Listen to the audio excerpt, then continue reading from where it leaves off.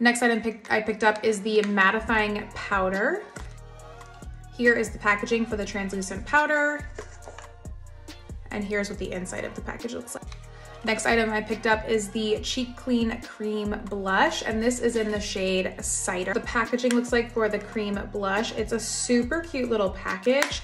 This is the shade. I'm not sure based on the swatch that I just did that I'm going to love this product, but we'll see. Next item I picked up is the Brilliant Brow Tinted Brow Gel, and this is in the shade Dark. Nothing too special about this packaging. It's pretty small actually, but I do like the little tiny spoolie. It's a decent size and looks like the shade will match. Item is the Beautycounter Think Big All-in-One Mascara.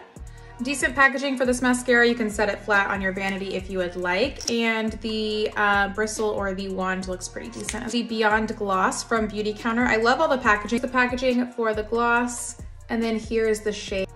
Thanks for watching and look out for a try on.